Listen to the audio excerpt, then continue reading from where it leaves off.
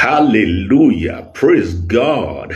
Every day is a miracle. Reading the book of uh, Zechariah chapter 4 verse number 7, you'll see the incredible power of grace to cause changes in our life as God's children. I read, Who art thou, O great mountains? Before Zerubbabel, thou shalt become a plain, and he shall bring forth the headstone thereof with shouting, crying, Grace, grace unto it. Hallelujah.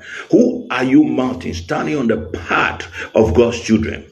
Go down now. Go down in the mighty name of Jesus. I decree and declare God would orchestrate divine connections and opportunity for your advancement at the time and season of this year. I command prosperity over your pathway in life in the name of Jesus. I break off you, the cause of this economic downturn over your life, over your family, over your career. In the mighty name of Jesus, I command an open heaven over your life uh, uh and situation in the miracle working power of Jesus Christ.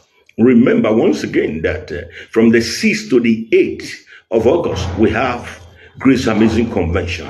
You must take out the time to be with us in this August life changing uh, a program that God is orchestrating at this point in time in our life and ministry. The Lord bless you as you come. Remember, it can only get better in your life in Jesus.